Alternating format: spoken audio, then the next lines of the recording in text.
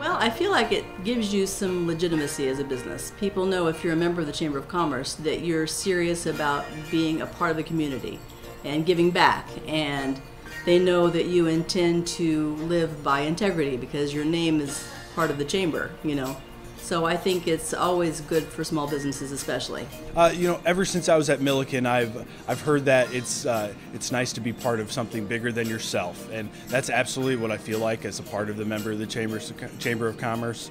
We we make these personal connections with these people, so it extends throughout you know just a business relationship for us where it really does turn into personal relationships um, you know extends from now buying a house. I know people via chamber uh, you know buying cars all kinds of industries that i don't think otherwise you'd have the opportunity to meet these people and know about some of the different uh, perks and other incentives that people like that offer.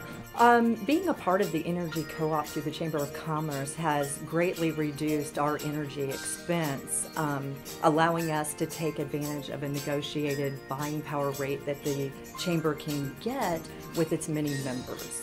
We got involved in it the first year it was offered, and we've noticed significant savings. So every time that it's an opportunity for us to re-up, we do it. We sign up every single time. It saved us considerable amount of money at all of our locations. So we will continue to be part of that co-op, and I would recommend it to anybody. Yeah, it's helped us a lot. Um, you know, as a small business, our biggest goal is to save money wherever we can. So, giving us that opportunity to get, um, you know, to run more efficiently, you know, it drops our bottom line, which helps us absolutely tremendously. So, uh, you know, we're big fans of that. It's great that they offer, you know, incentives such as that, and uh, we're happy to be a part of it. Um, it's a, I think it's important to be a member of the chamber so that we can, you know, create a great environment here locally. We can get our community businesses together on one page and unite so that we can draw more business to our area. We can bring those families in because Decatur is a great area. We just got to get that out there.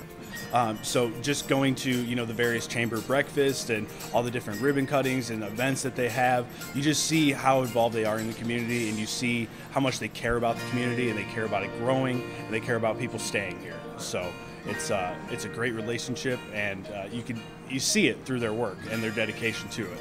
Well, I think part of it is because a lot of customers come in here. I've been here for 31 years, and I recognize them from events I've been to. And so we, you know, we can talk about, oh, do you remember that speaker we saw at the chamber breakfast, and wasn't he or she great? And then it just gives us more opportunities to talk about something that we both know about and then we can develop a friendship and a relationship and business everybody knows is really about relationships. So that's the big thing for me. Lots of relationships with some great business people in decatur